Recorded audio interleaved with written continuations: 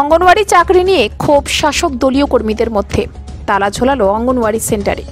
একের পর এক চাকরির অফার নিয়ে ক্ষোভে ফেটে পড়েছে ত্রিপুরার বিলোনিয়া শাসক বিজেপি দলের কর্মী থেকে কার্যকর্তারা।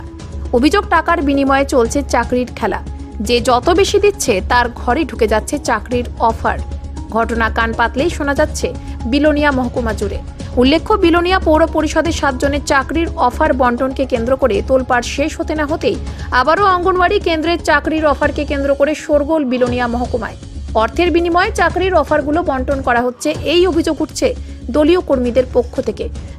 জানা গেছে, বিলোনিয়া মণ্ডল সভাপতি সহ ভারতচন্দ্রনগর পঞ্চায়েত সমিতির চেয়ারম্যানের ইশারায় নাকি অঙ্গনওয়াড়ির চাকরির অফারগুলি বাঁকা পথে দিয়ে দেওয়া হচ্ছে। এই অভিযোগও রয়েছে দলীয় কর্মীদের পক্ষ থেকে। এতে ক্ষোভ উগড়ে দিয়ে বৃষ্টিকে উপেক্ষা করে দলীয় কর্মী থেকে কার্যকর্তারা তালা ঝুলিয়ে দিল অঙ্গনওয়াড়ি সেন্টারে। ঘটনা সোমবার সকালে বিলোনিয়া মনুরমুখ এলাকার আমতলা অঙ্গনওয়াড়ি কেন্দ্রে। তালা ঝুলিয়ে রেখে মুখ্যমন্ত্রী ডক্টর মানিক সাহা ও প্রদেশ সভাপতি রাজীব ভট্টাচার্যের কাছে দলীয় কার্যকর্তা সহকর্মীরা দাবি করছে চাকরির অফার কেলেঙ্কারির ক্ষেত্রে যাতে হস্তক্ষেপ করে। সুষ্ঠু সমাধান করা হোক। এছাড়া দলীয় কর্মীদের অভিযোগ, বুথ কমিটি ও গ্রাম পঞ্চায়েতকে ডিঙিয়ে কি করে মণ্ডল সভাপতি ও পঞ্চায়েত সমিতির চেয়ারম্যান চাকরির অফারগুলি বন্টন করে দিচ্ছে, তা নিয়ে উঠেছে প্রশ্ন। আমতলী অঙ্গনওয়াড়ি কেন্দ্রের অফার দেওয়ার ক্ষেত্রে বুথ সভাপতি যেমন জানে না, তেমনই জানে না এসবিসি নগর গ্রাম পঞ্চায়েতের প্রধান ও সদস্যরা। এ নিয়ে শোরগোল দলীয় কর্মীদের মধ্যে। উল্লেখ্য, সঠিক তারিখে দেন ইন্টারভিউ না দিয়ে ও পরবর্তীতে ইন্টারভিউ দিয়ে বাঁকা পথে বাগিয়ে নিল অঙ্গনওয়াড়ি কর্মীর চাকরি। আর অন্যদিকে যারা সঠিক সময়ে ইন্টারভিউ দিয়েছে তাদের ভাগ্যে জোটেনি অফার বিধায়ক এবং চেয়ারপারসন দলীয় কর্মীকে চাকুরি দেওয়ার কথা দিয়েও কথা রাখলেন না ফলে ক্ষোভে ফেটে পড়েছে এক কর্মী। আমাদের কাছে দুধ অবৈধ বলতে কি বোঝাতে? এটার ইয়ে ইন্টারভিউ ইয়ের শেষ তারিখ ছিল সতেরো তারিখ। আচ্ছা। এটা সেই সতেরো তারিখ নোটিফিকেশনে শেষ জারি করার পর সতেরো আটা উনিশ তারিখ যাইয়া অ্যাপয়েন্টমেন্টের জন্য জমা দিয়ে আছে।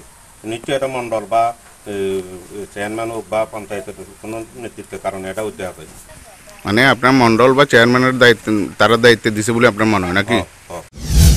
আমার নাম নিমেরা আমি এস বিষ্ণুনগর গাঁওসভার একজন বাসিন্দা। আমি যে আজকে আমতলি অঙ্গনারীর যে মানে চাকরির যে আজকে যে ঘটনাটা যার সব সম্পূর্ণ গীতাগতে আজ থেকে আরও এক বছর আগে আমার লগে চেয়ারম্যান প্লাস বিধায়ক, আমাকে গীতাগতে সবাই সিদ্ধান্তক্রমে ওখানে আমার মিসেসকে দেওয়ার জন্য সবাই আমাকে এই যে লিখিতভাবে এমএলএ দিয়েছিলেন সবার সাথে সিবিগুরু স্যার এমন মণ্ডল, সবাই একসাথে হয়ে একসাথে তোমার যে আমতলি অঙ্গনারী সেন্টারটা, এটা তোমার পরে দেওয়া হবে। এটা লেগে তোমার আমরা লিখিত দিয়েছি, কিন্তু আমি আমার আমার মিসেস ইন্টারভিউ দিয়েছে। আজকে দেখলাম নতুন একজন লোক এখানে ইন্টারভিউর জন্য জয়েন করার জন্য পাঠিয়েছে, এখানে সমস্যা হয়েছে। এখন আমি মুখ্যমন্ত্রীর কাছে আবেদন করতে চাই। আজকে থেকে না, অনেক আগে থেকে বিলোনিয়াটাতে শুধু মানে চাকরির ব্যাপার হোক কনেটারি ব্যাপার হোক প্রত্যেকখানে শুধু টাকা নিয়ে নয়শো করতে আছে। মাস করতে টাকা নিয়ে চাকরি দিব করে নাম এবং চেয়ারম্যান প্লাস পঞ্চায়েত প্রত্যেকজনে কি কাগজে টাকার বিনিময়ে চাকরিগুলো অন্যদিকে যাতে গেছে আমি মুখ্যমন্ত্রীর কাছে দৃষ্টি আকর্ষণ করে বলব, এই বিলনের দিকে যেন নজর দেয়। ধর্মনগর থেকে আব্দুল হান্নানের রিপোর্ট, নিউজ বাংলা।